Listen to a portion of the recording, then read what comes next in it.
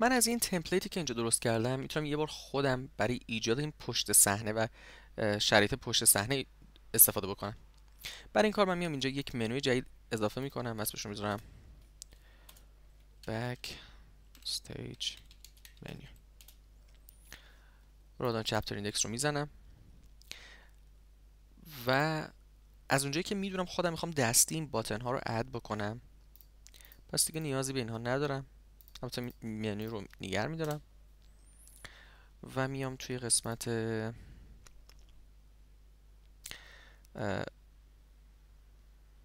assets م و همونطور که شما اینجا بینید من یه movie هم برای رادان backstage هم درست کرده بودم که این بالا رادان backstage می نویسه به جای رادان scene index خب من می‌تونم اینجا به جای این scene index background این backstage رو وارد بکنم.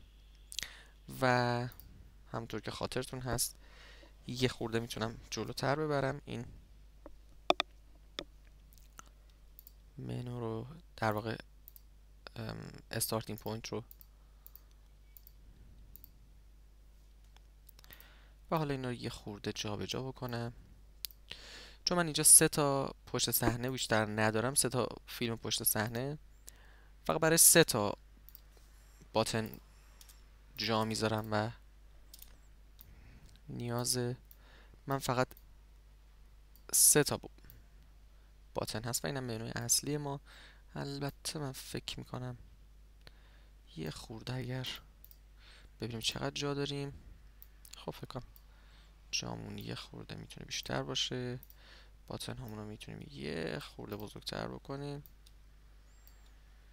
یه کوچولو کوچکتر حالا این یکی رو هم یه خورده بزرگترش بکنیم و منو هم که اینجاست. خب من میام تایت صرف رو ور میدارم. و حالا اولی رو به همین باتن یک دومی رو به باتن دو و سومی رو به باتن سه نسبت میدم. شما اگر هر کدوم از اینها رو ببینید نوشته زیرش رو می‌تونید تغییر بدید یا اصلا نوشتهش رو بردارید و فقط باتن رو بذارید یا هر چیز دیگه هر جور دیگه که خودتون دوست داشتید مثلا اینجا مانیتور هیر یا کامرا. اگر شما خواستید می‌تونید اونها رو چک هم بکنید. توی آتلاینمون ما الان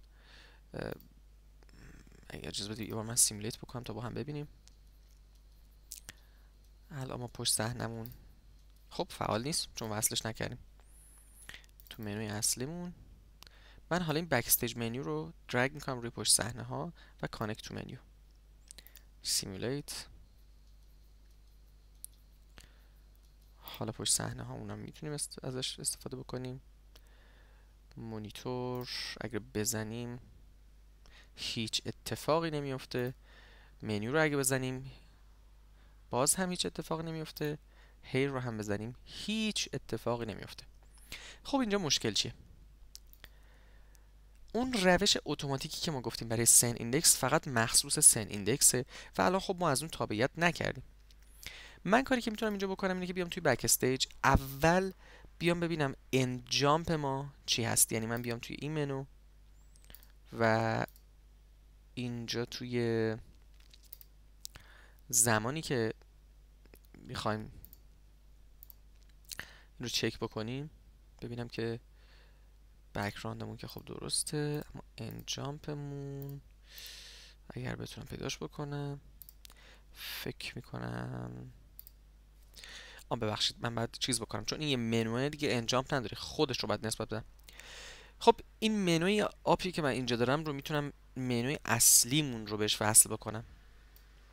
پس طبیعتا بیننده اگر این منو رو بزنه برمیگرده به منوی اصلی. حالا در مورد اینها چطور؟ اینجا من می‌تونم دو تا ترک جدید اضافه بکنم که در واقع این اسست های من بهشون وصل بشه. یا اینکه اصلا از اولش یک کار جالبتری می‌تونستم بکنم. کم رو به جای اینکه اینجا ول کنم شما همینطور که اینجا می‌بینید نوشته set asset and create track. خب من فقط set asset رو زدم که باعث بشه این thumbnail اون تو قرار بگیره. اما اتفاق دیگه ای نمیفته من set asset and create track رو می‌زنم و حالا همونطور که شما می‌بینید یه track هم برای من ایجاد میشه. خود Studio Pro انقدر هوشمند هست که بدونه اگر فایل AC3 هم نام هست با فایل M2V اونها رو با هم توی یه ترک قرار بده. خب من اینجا هیر رو هم همین کار رو می‌کنم. Set asset and create track. و برای مونیتورمون هم همینطور. Set asset and create track. Create track فقط ترکش رو می‌سازه و تامنیلش رو اینجا نشون نمیده. یک بار دیگه من درگش بکنم. Set asset and create chapter index هم تامنیل رو می‌سازه هم چپتر می‌سازه. چون ما چپتر اینجا نداریم این کار نمی‌خوایم بکنیم. Create chapter index رو هم که راجبش صحبت کردیم. خب من اینجا اگه بیام توی آوتلاینم الان سه تا ترک دارم. چهار تا با قبلیه.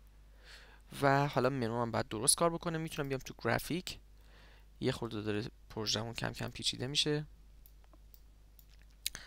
و ببینم که چه اتفاقاتی افتاده. من سر ایندکس ها رو این برمیذارم که حالا ببینیم جریان چی هست. خب من اینجا منو backstage هم هم حالت رفت و برگشتی داره با منوی اصلیم که درسته. از cam می‌تونم بیام و برم توی backstage و از hair هم همینطور و از مونیتور هم همینطور. خب پس این منوهای تمپلیتی که خودتون درست می‌کنین هم می‌تونین همچین استفاده ازش بکنین.